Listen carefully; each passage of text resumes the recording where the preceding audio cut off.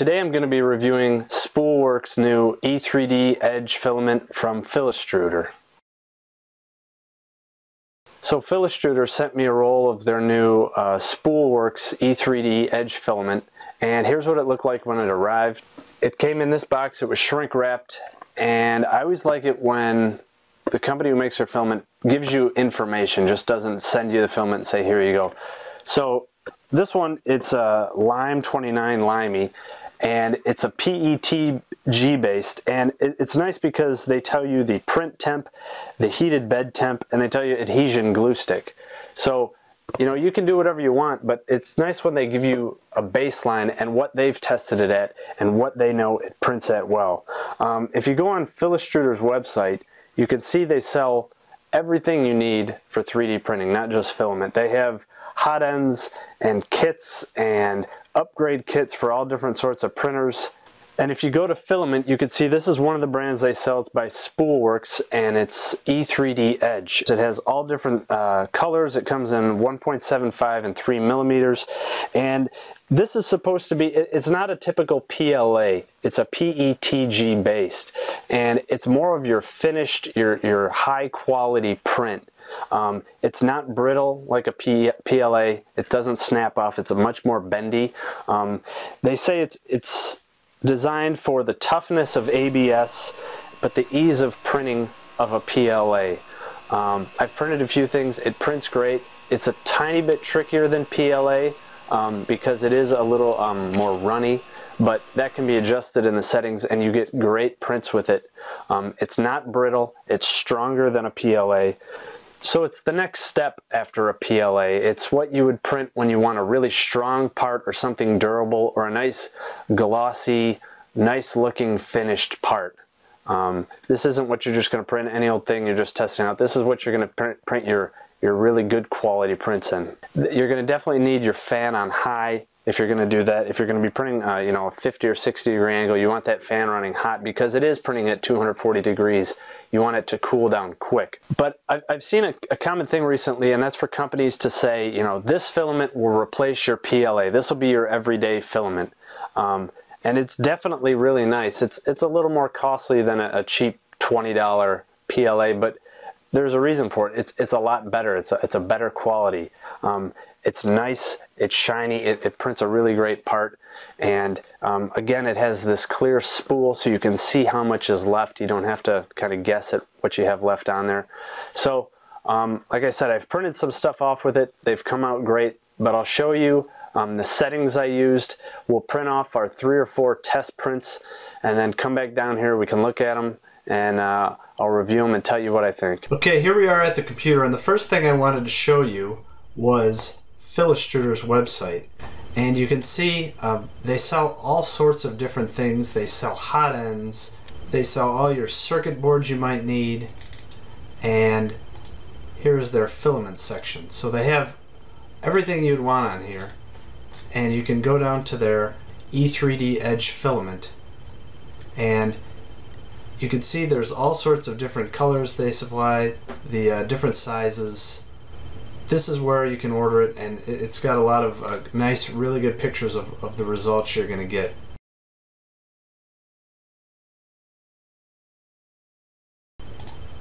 The first one is this chess piece, and this is a, a basic print, but it has some complex shapes.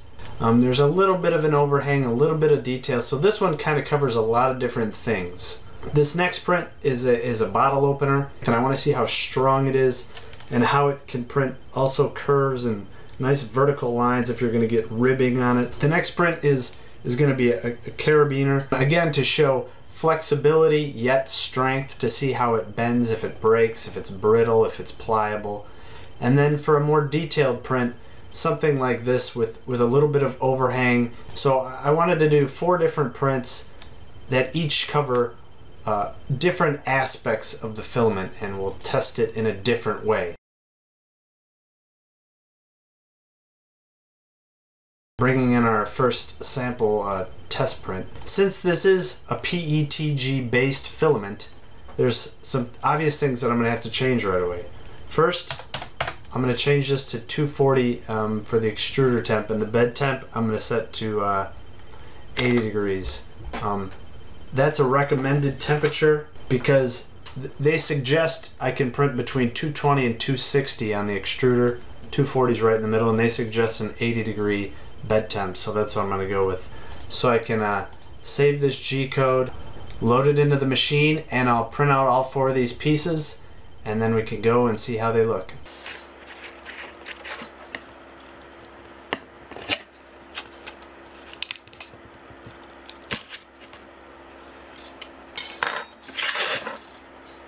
Well, I just finished printing the four different test parts with this filament, and here's what they look like.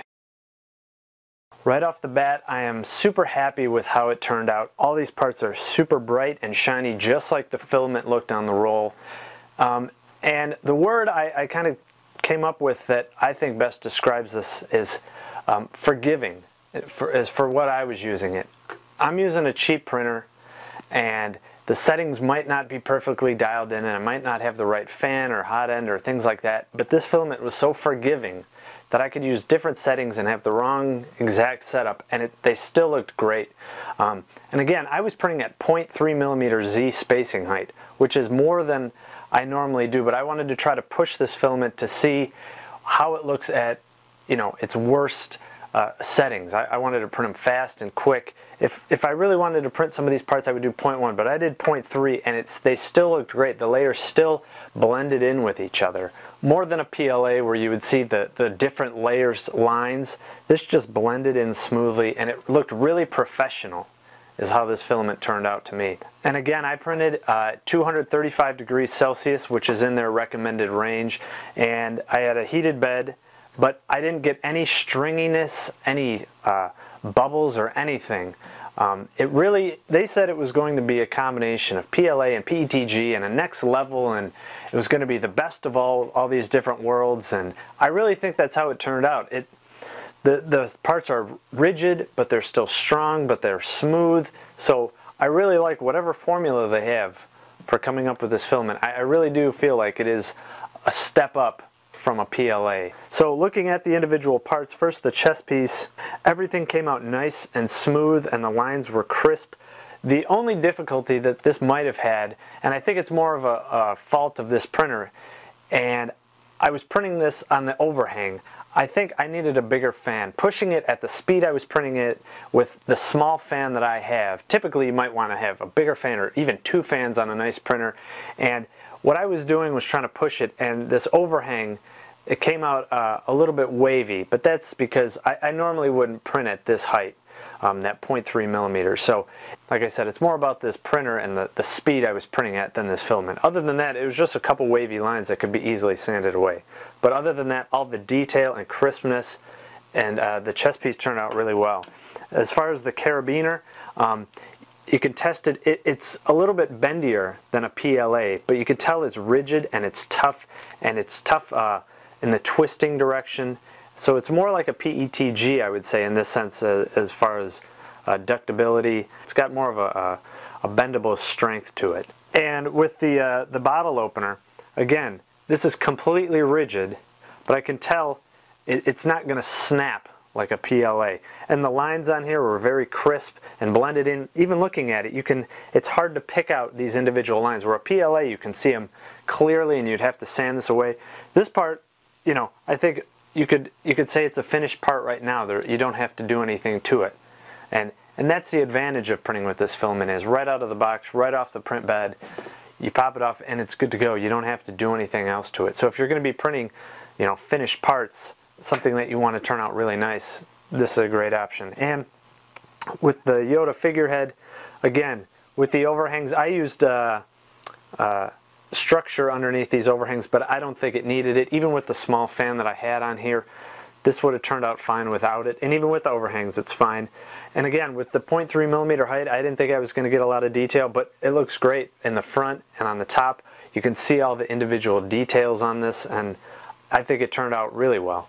So overall, I happen to agree with them when they say this is a next level filament as in terms of blending the, the best of both worlds between different characteristics of filament. It's easy to print with like a PLA. It's strong and tough like a PETG and it looks good. It blends well and it has a very professional feel to it. And like I said, it's very forgiving. It hides mistakes because I know I use the same settings on some other filament and it didn't print out half as nice as some of these areas.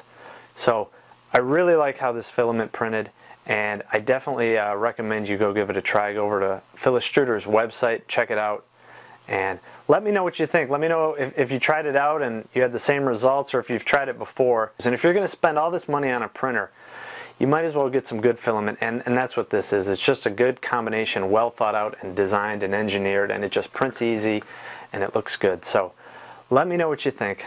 Thanks.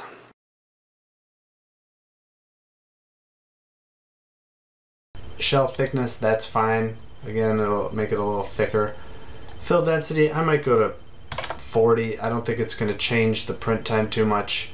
It'll make it a little stronger. It only added a few minutes. Um, support type, I'm going to go with none because this doesn't need any support. Uh, brim, I'll leave that alone to try to get the uh, filament flowing to begin with. Um, retraction, this might be a little bit uh, oozy because it is a PET so I'm gonna I'm gonna leave that. I might raise this to to five millimeters. Um, again 120 to get a little bit of on that first layer get a little bit of extra um, filament coming out. I might raise that to 140 just to try to get a little bit better adhesion a little thicker on that first layer. Um, and pretty much leave all these the same. Let me go back to my print speed. So 40 millimeters per second. That's that's a good baseline to keep it. But I'm going to do the bottom a little slower, um, infill a little faster, and the outer shell a little slower. So try to get a little bit more quality. So that's how I'm going to do uh, this chest piece. The other ones I'll, I'll do a little different. Um, for that detailed print, I might uh, change this layer height and make it a little slower. Um, for the uh, the carabiner and the bottle opener. I might speed it up and I might uh, I, will I'll increase the uh, fill density to try to make it a little stronger on those parts. Um, but I might speed it up. I might bump it up to 50 and, and bump these print speeds up a little. But this is just the baseline I'm going to do for a generic part like this.